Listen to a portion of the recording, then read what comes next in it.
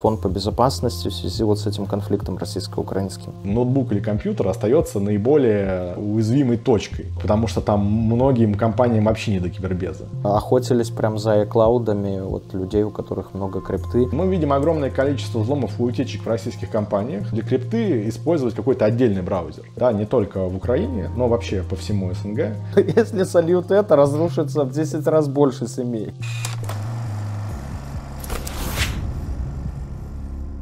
Друзья, привет! Новый выпуск Люди Про. И как вы видите, ваш любимый Сергей Никитин, он же Мистер Вот, и он же владелец крутого очень канала по кибербезопасности в Ютубе. Ссылка в описании. Киберликбез. К сожалению, не часто снимает. Человек занятой, возглавляет сейчас сингапурский офис групп IB. Но мы немножко его времени украдем и поговорим, как сейчас развиваются в интернете информационные события, те войны атаки, DOS-атаки а, в связи а, с происходящим конфликтом между Россией и Украиной. А, так что на канал его подписывайтесь и пишите ему чтобы чаще снимал и вопросы, и темы, какие вас интересуют под каким-нибудь последним его видосом, обязательно пишите. И я напоминаю, что спонсор нашего выпуска сегодняшнего криптобиржа WhiteBit, ссылка в описании, наши друзья. У них есть, помимо основных функций, которые есть на любых других криптобиржах, у них есть Staking, когда вы свою крипту можете просто хранить на своем аккаунте на WhiteBit, и вам за это начисляются деньги, потому что э, WhiteBit использует это э, в торговле торговли там дает вашу крипту э, для своих трейдеров при маржинальной торговле, а вы с этого получаете определенный процент в том числе. Э, итак, Сережа, расскажите нам, пожалуйста, что вот вы как на острие находитесь, а ваша компания, да, киберинцидентов и так далее, что начало происходить, вообще какой информационный фон, фон по безопасности в связи вот с этим конфликтом российско-украинским? А, слушай, ну на самом деле я тут немножко не на острие, да, потому что Сингапур далеко, далеко от Европы. Вот, а, и у нас здесь свои, э, свои там атаки, свои политические, в том числе, всякие моменты. Все боятся Лазарус, например. Так, на самом деле, э, наверное, самое главное, что бросается в глаза, это резкое снижение телефонного э, мошенничества, да. Ну, вот этих самые колл-центры, сотрудники Сбербанков. А, и сначала это просто были мемы, да, там такие, ну, ироничные. А, а на самом деле, действительно, вал звонков очень сильно снизился. Вот, потому что а, огромное количество этих колл-центров находилось в странах СНГ. Да, не только в Украине, но вообще по всему СНГ. Но там сначала были события в Казахстане, сейчас в Украине. И э, действительно вал именно телефонных мошенничеств просто ну, стремительно упал. Это, наверное, какая-то позитивная, единственная позитивная вещь э, среди этого. Вот. А так, э, ну, мы видим различные взломы, да, но, как правило, я уже об этом, кстати, говорил в прошлых выпусках, вот все эти политически мотивированные взломы, там, мы взломали сайт, не знаю, там, президента или там еще чего-то, но это же все сайты просто открытки, да, это все сайты, э, ну, а, да, а визитки, они не несут, ну, это, разве что какой-то, не знаю, репутационный ущерб, но никакого реального именно такого какого-то серьезного ущерба оно не несет. Если говорить про какие-то чувствительные вещи, мы видим огромное количество взломов и утечек в российских компаниях, да, и ну, регулярно публикуют дампы самых разных вообще сервисов. А, вот та же Яндекс Еда, да, из последних прям такая чувствительная. Я смотрел как-то карту. Яндекс Еда из дека не появились в глазе бога, кстати, ссылка тоже в описании. И там, знаешь, что интересно стало вот э, в связи с этим, какие возможности появились? Образно говоря, ты вводишь там Кузнецкий мост 22, к примеру, да, или Лубянка 2, или Лубянка 10, и ты, в принципе, э, понимаешь, э, кто где работает, потому что заказы-то доставлялись и на работу многим сотрудникам спецслужб и так далее. Антипов-то повыпиливал, конечно, ну, многих сотрудников, но в целом корреляции, вот я даже каких-то там не знаю, там мне пишут, там проверь, там девушка моя эскортница или нет, есть подозрения, да, и стало очень легко в связи с добавлением данных Яндекс Еды вычисляться. Вот я недавно э, пробивал там одну девушку, да, там обоснованные подозрения были, потому что у нее э, адрес один был, ну, домашний ее, куда она заказывала еду, а второй адрес Э, наиболее частые заказы были это просто борделя какого-то, одного из известного достаточно. Ну вот, так что утечки, они вроде как, э, несмотря на то, что там инфа, допустим, о кредитках не утекла, но вот даже такие утечки, они много для репутации могут сделать.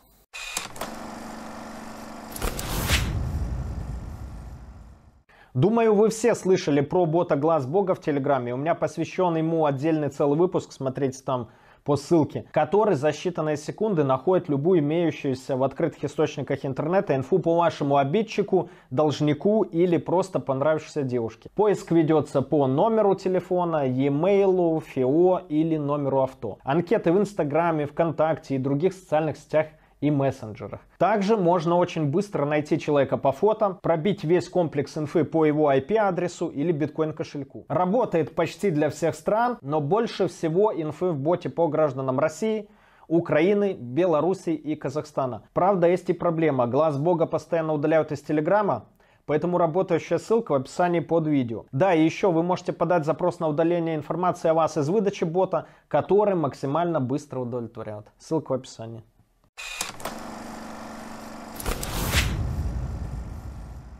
Про индекс инду, во-первых, я увидел, что все домов, коды домофонов утекли. Э, во всех домовых чатах я вижу, там все срочно меняют коды домофонов, потому что все утекло. Второе, да, как ты сказал про работу, я тоже сам себя смотрел просто. А, до моего отъезда в Сингапур а, очень часто я заказывал еду на весь отдел. А, ну, как раз там Яндекс, Деливери, ну, а потом мне ребята скидывали просто все. И так, так исторически сложилось.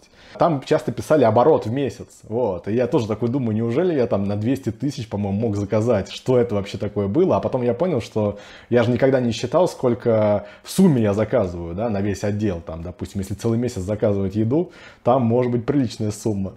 Поэтому это забавно, да, это забавно, просто, ну, такое вот мне даже интересно стало, ты напомнил, сейчас я кого-нибудь, чьи у меня телефоны есть, из ваших в прямом эфире пробью, но мы, конечно, не покажем. По-моему, у меня Паши из вашего пиар-службы есть телефон. Да, вот сейчас, сейчас я открою как раз глаз Бога, и мы посмотрим, заказывал ли он на работу, да? Наверняка, наверняка.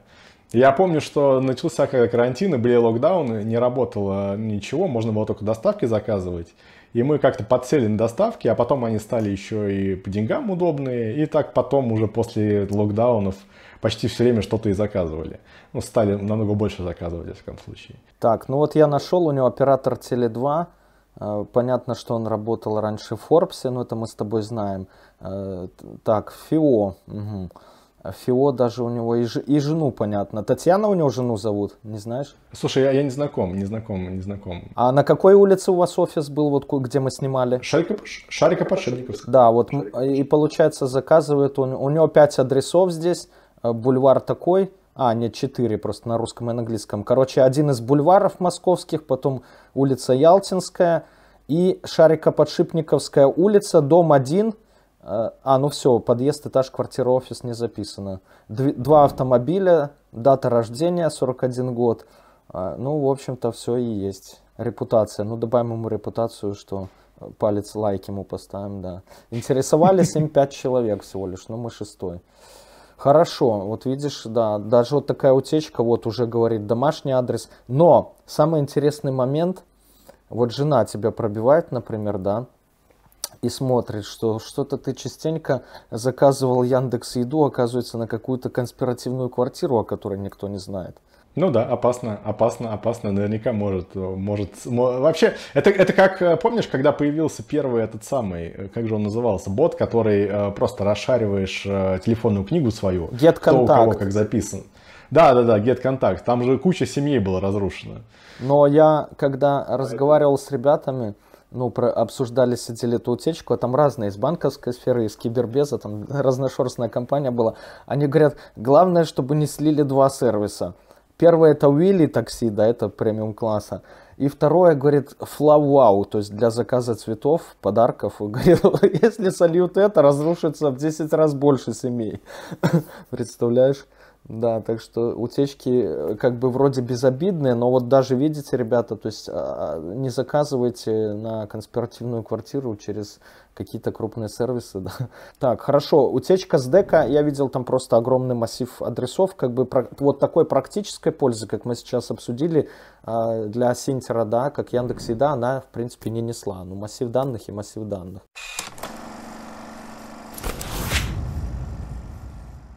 В этом видео не будет рекламы моей книги, потому что она и так отлично продается на сайте, ссылка в описании. Я же расскажу вам о своем другом бизнесе, кэшбэк-сервисе secretdiscounter.com. И если вы что-то покупаете в интернете, а в скором времени и в офлайн магазинах и делаете это не через кэшбэк-сервис, то вы теряете от 50 до 200 долларов ежемесячно.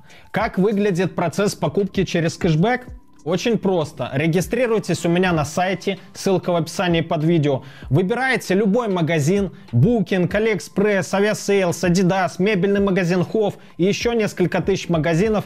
Переходите на него с нашего сайта. Магазин видит, что вас за покупкой привели мы, начисляет нам комиссионные, которые мы впоследствии делим с вами, причем вам достается больше, чем нам. И я оставлю ссылку под видео, и вот в этом углу экрана, при регистрации по которой вы получите золотой, то есть практически максимальный статус лояльности в нашей системе. И с первого дня будете получать кэшбэка на 20% больше, чем другие пользователи. Ах да, совсем забыл, на сайте есть промокоды, которые прекрасно работают в связке с кэшбэком, и вы получаете выгоду и по купону, и кэшбэк сверху. Отслеживание посылок более 400 почтовых и курьерских служб, проверенные компании по доставке покупок из-за границы и многое другое. Регистрируйтесь и экономьте скорее. Сэкономленные деньги, как говорил Генри Форд, это заработанные деньги. Ссылка вот тут.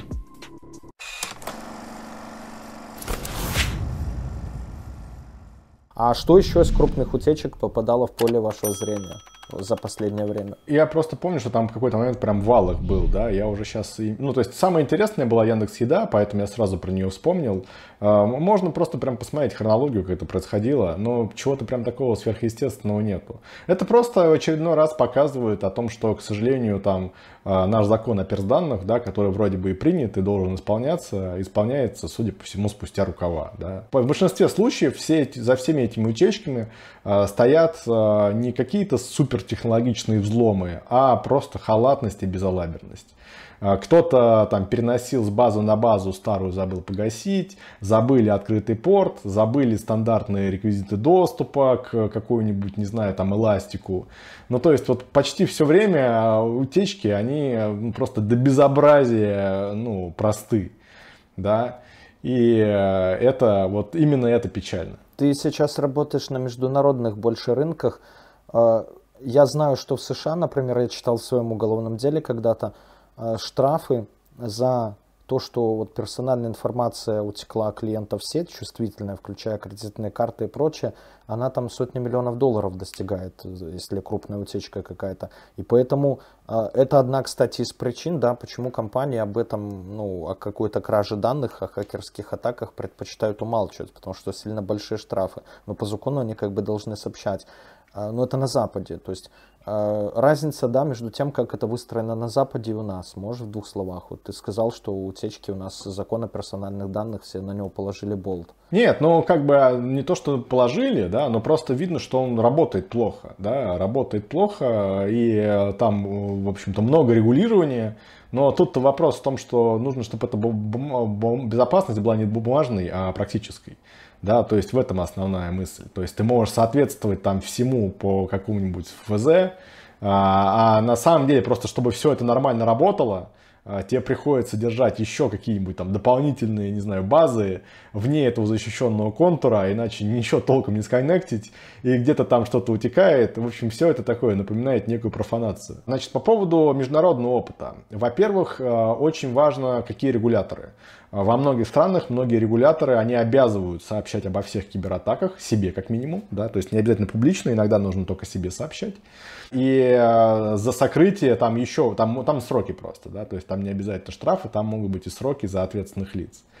А, второй момент заключается в том, что все зависит от отрасли, да, то есть там, допустим, в финансовой сфере у страховщиков там более жесткое регулирование, где-то оно менее жесткое. Вот как там считать, например, сервис доставки, да, то есть там ну, в разных странах это может быть относиться и к э, там торговле, а может относиться и к IT-сервису, но очень по-разному, в общем, это все сделано. Тут вопрос в том, чтобы все это регулирование, оно подталкивало к реальной защите, да, а в России очень часто регулирование подходит, подталкивает к тому, как бы обойти регулирование. Вот основное, основная разница да, в подходах. А, хотя, конечно, безалаберность и утечки встречаются на Западе, ну и тут на Востоке, ничуть не реже. Э, и там истории про потерянные ноутбуки, незашифрованные и прочие вещи, оно а, имеет место быть. Взломы хостинг-провайдеров, например, когда у хакера получили доступ ко всем хостируемым сайтам, да, вот я такое встречал уже тут такое, оно, ну, люди везде одинаковые, да, но э, смысл законов сделать так, чтобы их было легче соблюдать, чем обходить. У меня тоже в, моем прошлом встречались базы данных целых хостинг-провайдеров, и я просто сидел тупо от нечего делать, ну, в качестве развлечения дефейсил просто все сайты, которые лежат на данном хостинге, то есть элементарно. А если коснуться все-таки сравнить да, защищенность, допустим, техническую сугубо русских компаний, ну, я имею в виду постсоветского пространства, СНГшных, и западных. То есть э, все, кто все-таки больше... Понятно, что взламывают и тех, и тех, и, наверное, с одинаковой легкостью, но кто э, сильнее все-таки защищен вот, по твоему какому-то личному, объективному либо субъективному опыту? А, могу похвалить российский банкинг. А, я думаю, что это связано просто с огромным количеством атак, которые на них были в прошлом.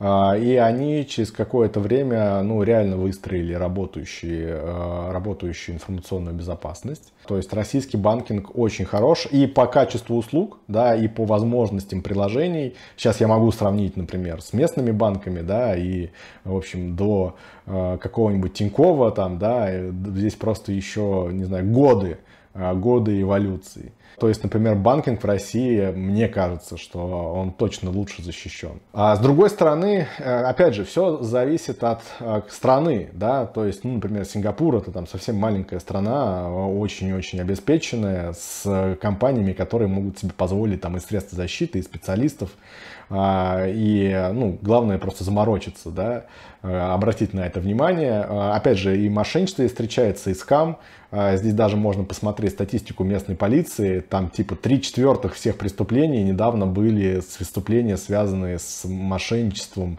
в интернете. Да, это я имею в виду вообще всех зарегистрированных заявлений. И об этом памятки постоянно выходят. То есть здесь есть еще местное киберагентство по безопасности, CSA называется, Cyber Security Agency. Оно регулярно тоже там оповещает, проводит э, какие-то учения, брошюры. Э, недавно была волна, скама по местным банкам, э, ну, по клиентам, да, то есть на банки это напрямую не влияет, просто фишинговые смс с левыми ссылками. Опять же, после этого была огромная кампания там с плакатами, оповещениями, такими, что, например, ты даже заходишь, не знаю, заплатить за электричество, а тебе напоминают, что, в общем, враг не дремлет, будьте аккуратны, ссылки в смс-ках не, от, не открывайте. Ну, такая системная работа, я вот о чем. А с другой стороны, здесь есть другие страны, там Филиппины, да, где вообще большая часть кэша, там банкинг не очень развит. Там Индонезия, да, Вьетнам, Малайзия, и там везде все свое, да, и уровень защищенности там бывает лучше, бывает хуже, очень-очень разный. Вот, а, потому что там многим компаниям вообще не до кибербеза. А, поэтому э, э, я бы сказал, что Россия сейчас э, в чуть более выигрышном положении, потому что вот все эти так называемые русские хакеры, да, я здесь в кавычках их беру, они начинали в России, Россия была для них что-то типа детской площадкой. Да, то есть огромное количество APT, которые сейчас есть и которые там гремят по всему миру, они начинали как ну, какие-то ребята прямо из РФ, да, и скам был, ну и вообще фрод был в самом РФ, и потом они уже перепрофилировались, э, там, слились группы и прочее, прочее. И из-за этого, так как Россия была такой, э, в общем, таким детским садом, а, уже огромное количество схем и вещей было отработано в России, и люди уже к этому всему готовы, и они защищены. Да, а только сейчас это приходит сюда, да, и есть огромное количество схем, которые в России уже полностью забороли, технически в том числе, а они, например, и до сих пор работают в Сингапуре, да. Правда, суммы ущерба здесь намного выше, ну, потому что у людей просто больше денег. Э, и поэтому, ну, э, и так, и так, и так, и так, все зависит напрямую от страны, э, от ответственности владельца бизнеса, от того, насколько он готов тратить деньги на кибербез. Могу уверенно сказать, что без работы мы не останемся. Счастью. или к несчастью, как посмотреть. А вот группировки эти, э, сейчас э, с войной там эти Killnet, Anonymous всплыли, но Anonymous, в принципе, всегда были, но я не считаю их какой-то, мы с тобой обсуждали сколько раз, что это не какая-то группировка, это такое активистское движение, наверное, больше, где половина малолеток, половина кого-то. И тут э, Killnet всплывает, какой-то русские хакеры, которые с ботнета вообще начались, задосили мой сайт, для привлечения внимания на рутере и написали об этом. Вот. Ну, мой сайт новостник задосить на WordPress, ну это вообще, да, на, наверное, сверхквалификацию какую-то нужно иметь. Э, внимание мое обратили, лишились своих сайтов почему-то, вот, ну, как-то так произошло, карма какая-то настигла, да, очень быстро. И вот начинается Запад типа в лице анонимуса выступает, э, русские уже выступают в лице этого килнета. Вот что ты про эти такие, не знаю, шуточные или не шуточные противостояния можешь сказать со стороны? Да, на самом деле ничего, да. Ну, это какой-то детский, в общем, какие-то детские игры, да, потому что оно, ну, вот эти все дедосы, утечки. Я не, не всегда даже я могу понять, кто выгодоприобретатель на самом деле, да. Для меня это все выглядит как какое-то развлечение а, людей, да, каких-то, ну, увлекающихся. А, не более того. Естественно, какая-то политическая ангажированность, она может иметь место, да, и, опять же, идейная. Вот, а, но э, прямо чего-то сверхъестественного пока что в киберпространстве э, я такого не наблюдаю. Но опять же, я не самый релевантный источник, да, так как э, я сейчас далеко, далеко от России, и у нас э, здесь, скажем, там своя специфика, да. Здесь самый большой страх вызывает Китай и Северная Корея да, ну, по, по понятным причинам. Северокорейцы, например, вообще здесь весь регион держат в ужасе, особенно крипту, да, потому что взламывают крипто, ну, то есть э, в Северной Корее исторически проблема с валютой, у них же там не могут где-то ее брать, да, а тут очень удобно, они крадут, и они очень заинтересованы в крипте, э, потому что на крипту они могут покупать очень много чего, ну, это прям такая настоящая валюта, и э, взлом криптобирж от Лазаруса, он просто огромный, да, то есть там, я думаю, что речь уже идет на сотни миллионов долларов, Здесь, здесь как бы свои, свои страшилки, свои э, такие пугало. Вот. Все, все боятся, что их взломают там какие-нибудь те же Лазарусы или еще кто-нибудь.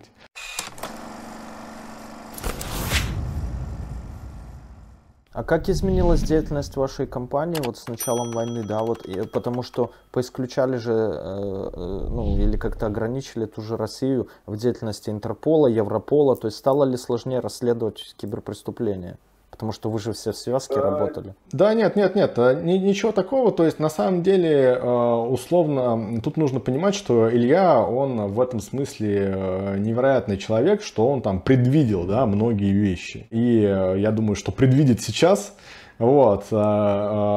Кстати, там, опять же, кто, кто заинтересован в его судьбе, там меня очень часто спрашивают в комментариях, да, у меня, опять же, какой-то новой информации нету. Да? А, я рекомендую всем читать его соцсети. От него начали приходить письма, да, то есть с огромной задержкой, но они приходят, он там пишет свои мысли. И, наверное, там какой-то большей информации даже я не обладаю. А процесс закрытый, никакой информации вот с того момента в сентябре ничего нового не появилось. Скупые э, комментарии адвокатов, которые тоже по подписке, да, и, э, ну вот письма, письма от Ильи. Так вот, э, Илья, как я говорил, он такой э, предвидец, да, и провидец, и он очень хорошо представлял и представляет, что происходит в мире. И в том числе сразу было понятно, что учитывая то, что любые, ну, любые хакерские вещи, они всегда были определенным образом завязаны на противоречия политические стран да. А, единственный способ а, быть а, компанией по кибербезопасности – это быть нейтральной ко всем политическим аспектам. Мы это начали делать задолго до вообще всех этих событий. Там, условно, наш сингапурский офис, да, ему вот недавно исполнилось три года. Скоро уже будет там очередное, то есть было там юр, юрлицу, скоро будет открытие офиса три года.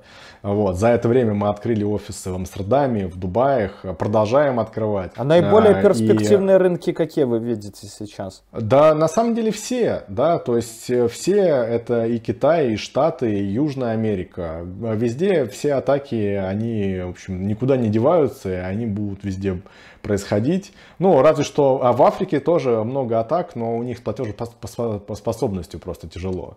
А так там тоже есть, есть э, чем, что, что защищать, что строить и так далее. Э, сейчас вот э, я там как раз да, с момента своего переезда, вот практически до, до, ну, до сегодняшнего момента, я работал над нашим новым офисом. Мы переезжаем в офис, который там в три раза больше, да, здесь в Сингапуре. Там продолжаем нанимать местных и расти да, и потому что нам уже просто, у меня вот сейчас в офисе, я э, как, в пятницу последний раз был, у меня буквально заняты все рабочие места, да, и даже переговорки, вот. А, и просто некуда сажать уже людей. А, но благо в конце мая у нас переезд в новый офис. Ну, то, точно так же и со всеми остальными да, нашими э, офисами. То есть растем, набираем местных, проецируем а, да, то есть наш подход какой? Мы, ну, у нас есть вот опыт российского группы IB.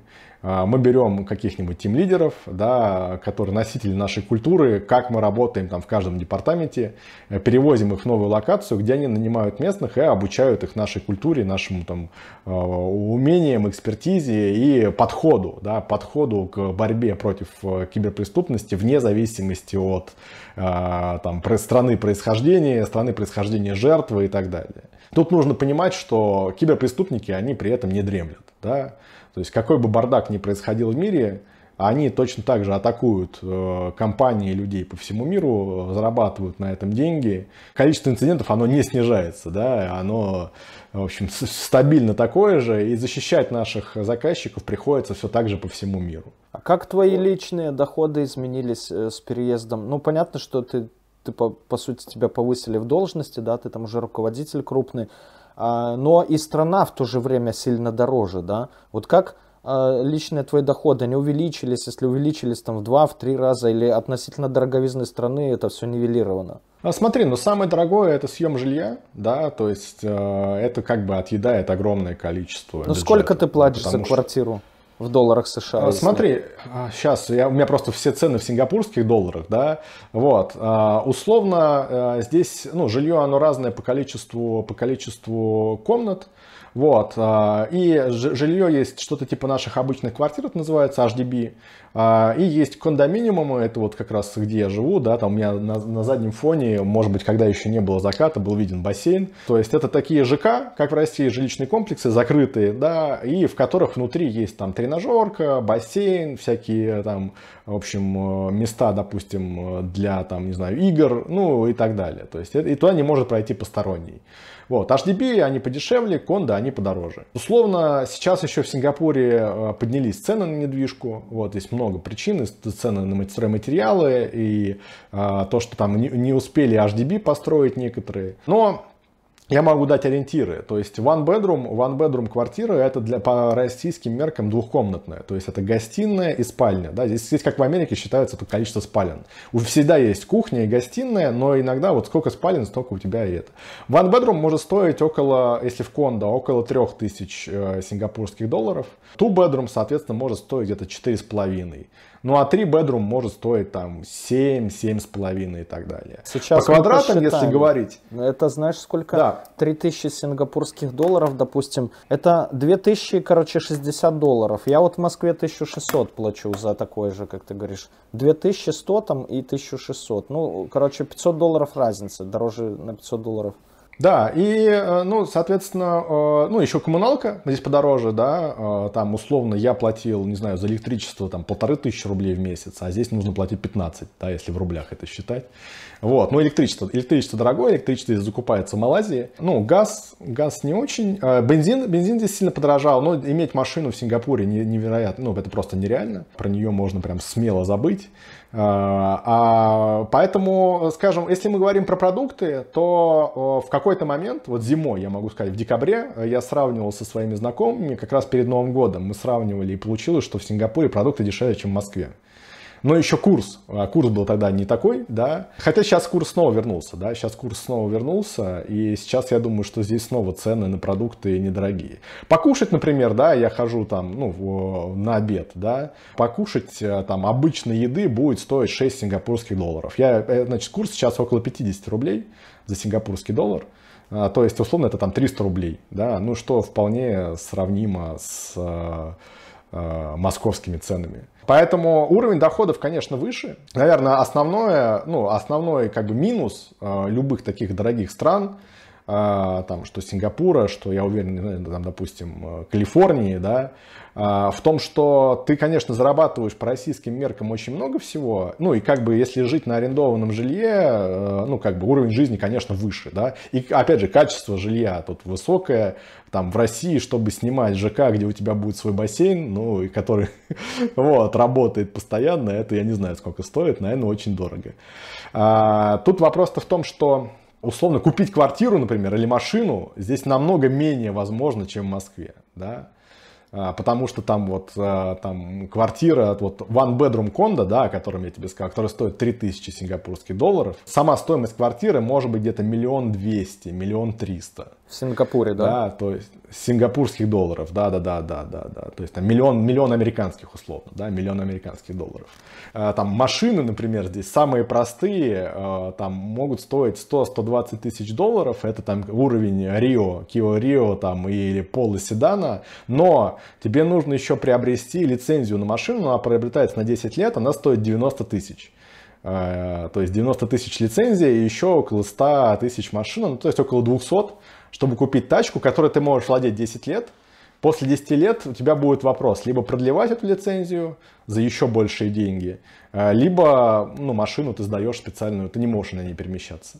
А вот. Такси, а, поэтому... рынок такси как устроен? То есть дешевое, но доступное? Такси недорогое. Такси, такси недорогое, то есть там самое дорогое такси там, через весь остров обойдется э, в 20-25 долларов. Это примерно ну, тысяча, там, 1200 рублей. Ну и надо понимать, что сам Сингапур, да, он небольшой. То есть там, э, я, я, Сингапур правильнее всего сравнивать с Питером, да, то есть э, по населению э, и по площади, то есть это вот скорее питерская тема. Здесь 5, 5, 5 миллионов 700, по-моему, тысяч человек. Ну и по площади оно сопоставимо там с Питером и немножко Ленинградской области. Поэтому там пересечь, да, страну нормально. Здесь есть местная Авито, да, местная доска объявлений, карусель называется. Я покупал, не помню уже что-то, что-то, какую-то электронику. А, а нет, я продавал, продавал, продавал, продавал какую-то электронику, по-моему, iPad. А, и человек написал, мне придется ехать к тебе через всю страну. И когда он это написал, я себе представил, что ко мне человек из Владивостока едет. Да, Но да. нет, через всю страну, здесь это там типа 20 минут на такси.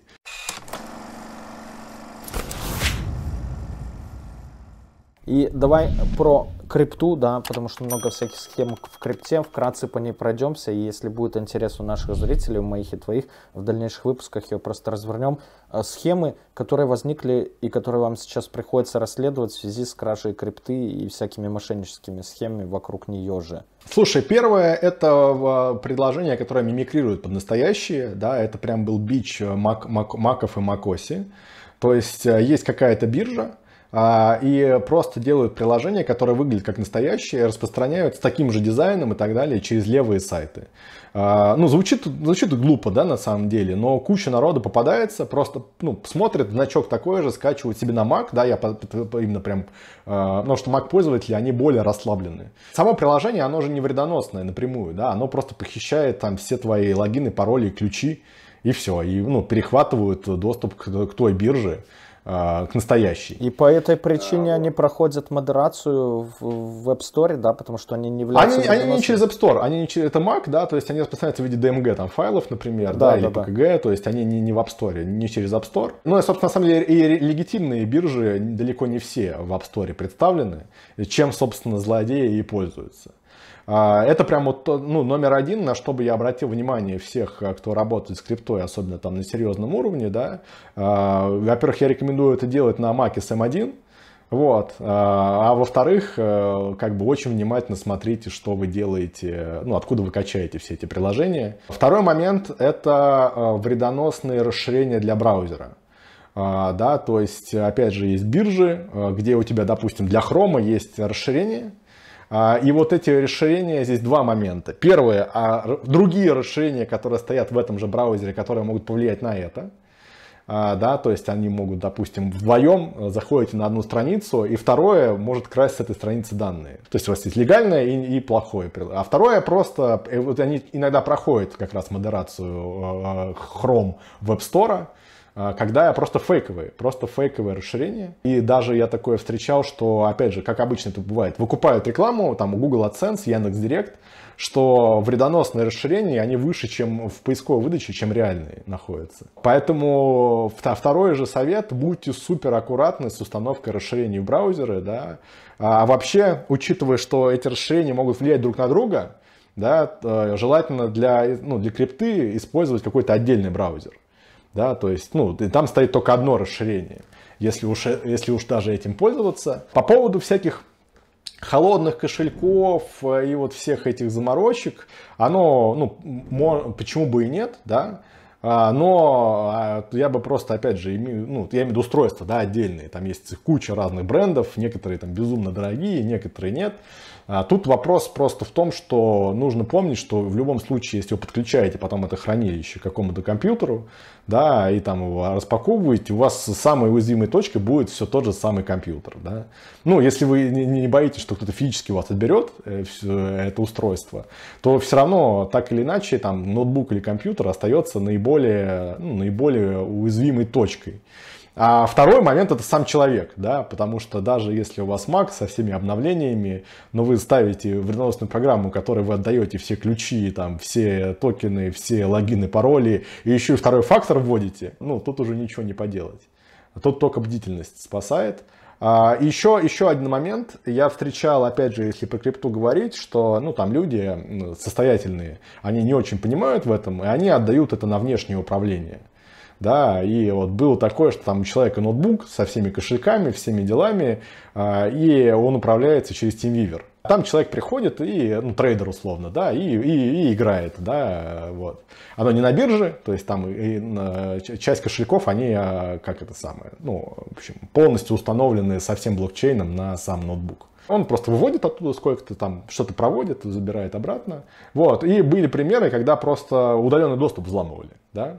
Вот, удаленный доступ взламывали и там выводили все. Возможно, кто-то продавал его, да, там из трейдеров. Ну, то есть тут, естественно, всегда это возникают вопросы, да, там один человек знал пароль, э, не от него ли это утекло. А, опять же, да, тут уязвимая точка, это, собственно, само удаленное управление. А, тоже нужно быть с этим аккуратным. Сейчас была схема, э, что MetaMask, например, кошелек, да, ну, в виде там того же браузерного разрешения или что угодно, расширения или что угодно, при включенном копировании. Короче, он в iCloud сливался, сливал свою копию в iCloud, и просто нужно было это отключать, потому что э, охотились прям за iCloud вот людей, у которых много крипты, потому что MetaMask полностью себя, по сути, туда и копировал. Ну, вот, ребята, таким был второй выпуск с Сергеем Никитиным. Напоминаю, канал его Киберликбез в описании видоса. Залетайте, там много всего полезного и пишите ему, на какие темы снимать, чтобы он чаще нас радовал и не забивал на свой прекрасный канал.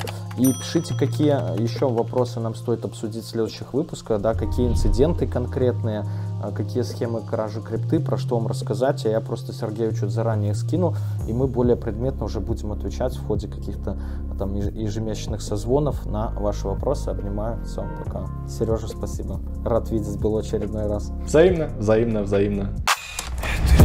Расскажу тебе тысячу схем, умножить на два, сделать профит Я давно был и есть на слуху, теперь я сижу тебе напротив Это наш мануал, по которому кто-то решит заработать. Это люди про, только твой мой жизненный опыт. Расскажу тебе тысячу схем, умножить на два, сделать профит. Я давно был и есть на слуху, теперь я сижу тебе напротив.